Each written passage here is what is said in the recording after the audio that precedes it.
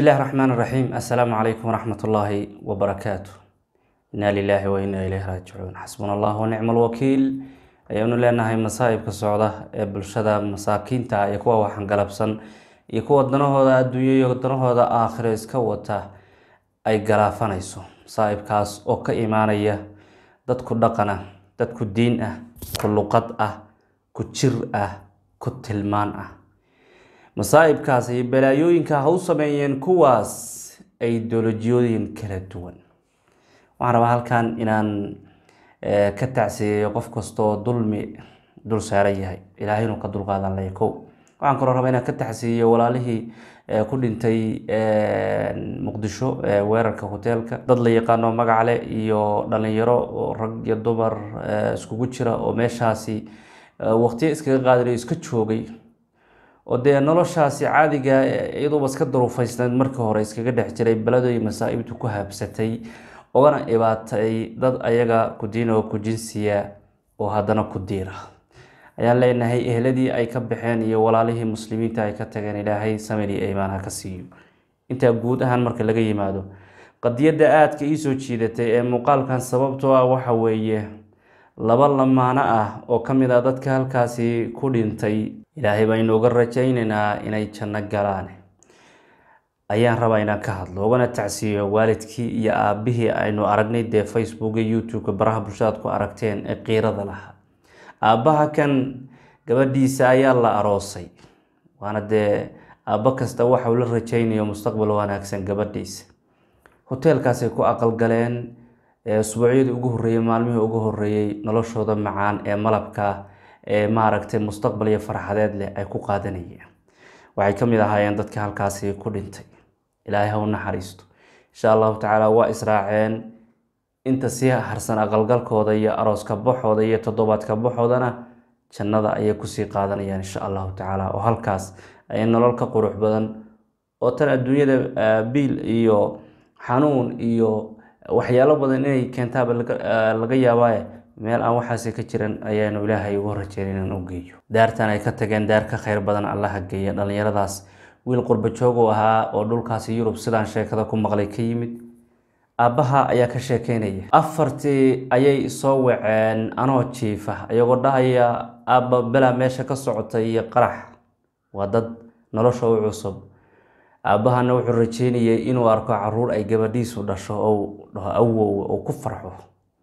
Ahay arooska halkaa ku gale bal masaa'ibkan iyo farxadda meeshaa taalay isu fiirsada walaalayaal. Waa qadarka ilaah aabbahan marka ay soo waceen waan wareeray buu yidhi. Kadibna aniga iyo xaaskayga iyo qoyskii meeshii ayaan isku soo tuurno soo orod. Inagoo doonayna inaynu haleelno kana soo badbaadsano ubadkeennaas nolosha u quruxsan tahay. Hase yeeshee waa haleeli kari weyne waa gaari kari weyne ayuu yidhi kadibna waxaa dhacday in aan aamino bal dadkan dhaawaca la soo saarsaaraya inaan ka fiiriyo. Gabadhaydii miyaa wiilkaygii miyaa kuma jiraanba khalaas. Ilaa lix saaca habeennimo ilaa saqda dhex habeenimaan joogna biro meesha nag markii dambe meesha kala tagaa la yidhi. Waxaana aaminay marka inay dhinteen oo dadkii dhintay ay ku darsameen markaan ilaahay waxaan ka baryayaa oo ilaahay aan ka rajaynayaa meydkoodii inaan arko ayaa markaan ka rajeynaya nolol ka quustay. Dhaawacii kuma jiraan. Nolol laguma waa bas isbitaalkaa taagnay. Ilaahay waan baryayaa meydkoodina aan arko. Waan arkay. Labadoodii waa dhintay. Waa la aasa marka maanta. Waa laba caruus. Oo caruusnimadu u cusub tahay.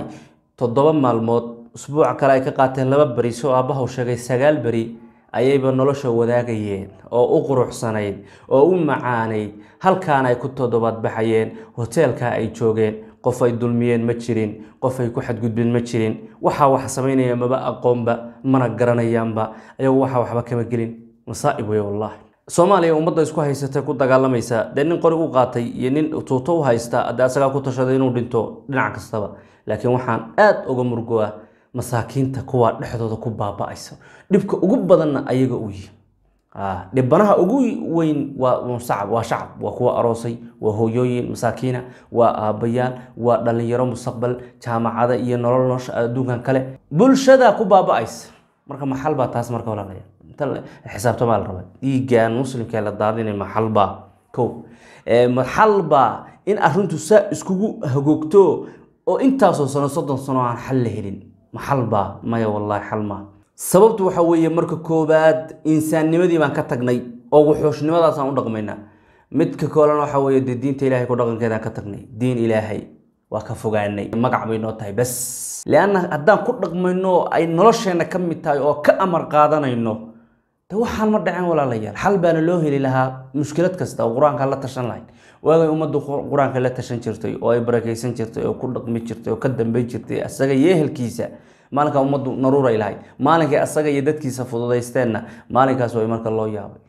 Geelow or orod lagu yaaba waa markaad ciin daaqdid baa laa xawla walaa quwata illaa billah marka lamaanahaas ilaahay waxaa uga rajaynaynaa in ay jannada arooskooda iyo aqalgalkooda iyo toddobaadbaxooda ay ku sii qaataan biidn illah ilaa qof walba waa dhimanayaa waayo qofna dambayn mayo waa ula kala horeeyaa sabab lagu dhintaba mowdku waa hal mid laakiin sababaha kala duwan.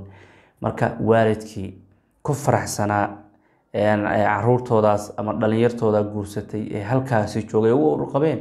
Kadibna warkaa xun uu ka soo gaaray waa uga tacsiyeynaya aabbahaas aabba cali. Dhammaan intii kalena ehelkoodii waa uga tacsiyenaya muslimiinta rabbigay ha u naxariisto insha allahu tacaala wixii ku dhacayn ilaahay dambi dhaaf uga dhigo jannadayna ku jiraan insha allahu tacaala. Laakiin tacsiyin baan weligan ku jirayna. Waa maya xal xal waay qofku waa inuu fekeraa ninkan dhallinyarada dadkan baabiinaya muslimiinta waa mid ayaa ka dhashay oo soomaali waa muslim fikir baa loo dhiibay. Marka inuu laftirkiisu fekeraa la raba kow cidda kalena ay fakerto dhinacyada kale bulshadu fakerto oo bulshadu isnadiifiso oo ilaahay ku xirmaan oo ilaahay ka cabsadaan oo fusqiga iyo xumaanta iska daayaan oo wax kastoo cara alla keenaya ka fogaadaan. Laakiin anaga waa waxay ku sii dhex jirna markaasaa ilaahay karbaashkiisa nala dhacaya. Wakadalika nuwalli bacda aalimiina bacd aalimiintaasaa layskugu salladaa dhibanayaashu waa shucuubta waa dumarka masaakiinta waa dadka aqalgalaya waa dhalinyarta. Tala wanaagsan ilaahay dadkeena ha ku soo duwo. Waa ku daalnay hebel baa dhintay intaasaa dhimatay.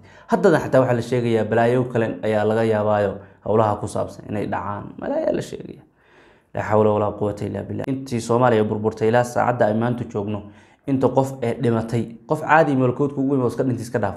Kuwa iska dhaaf waa la garanay qof insaan oo walaalkiisa oo muslima oo insaana ama diin ha u adeegsado magaceed ama qabyaalad ama ururaysi ama gobolaysi imise qof ayaa isdhihi kartaa ayaa ku baxay qacan walaalka ama yacni dagaalo dhexdooda ha ahaato ama toos qofkii arrinta ha ugu dhacdo. Waa imis wallaahi malaayiin waayo. Malaayiintaasi waxay ku taallo ku reebeen malaayiin kale oo ehelkooda ilaa hadda nool oo dhibaatooyin kale ka qaaday arrimahaas marka ilaahay stresska hanaga saaro iyo xayraanka ilaahayna hanaga dhigo kuwa anagu aan isbedelno isgaranna ahay marka isbedelno isgaranno isfahano oo aynu garanno edabta ilaahayna edbinayo aynu fahno aan wax ku qaadano markaasaa ilaahay subxaanahu watacaala noo gargaaraya. Horey u socda rabbiga haydan xafido baarak allahu fiikum